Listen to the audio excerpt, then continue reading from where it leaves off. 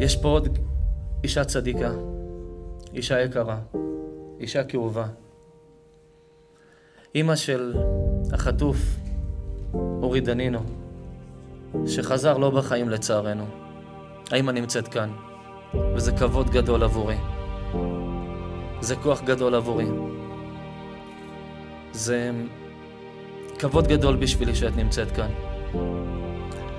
הלוואי שגם השיעור הזה, שהכנתי אותו, הלוואי שגם הוא ייגע בך והוא יהיה בשבילך. כי כל אחד עובר פה איזה משהו. אבל אי אפשר להשוות את מה שכל אחד עובר למה שאת עוברת. ואני רוצה להגיד לך שהכאב שלך הכי גדול משל כולם כאן. כי זה לא דומה לאבד ילד לבין לאבד הורה. לאבד הורה אפשר להמשיך רבים הפעמים שקל להמשיך וגם כשקשה להמשיך, שמאבדים הורים ממשיכים.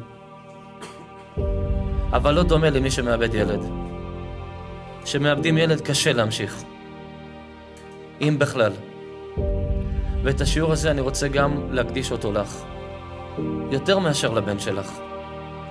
במקום שהוא נמצא בו, ודאי לי שיש לו נחת. במקום שאנחנו נמצאים פה, ספק אם למישהו נשאר נחת. אז אני מקווה שהשיעור הזה יעשה לך קצת נחת אחרי היום.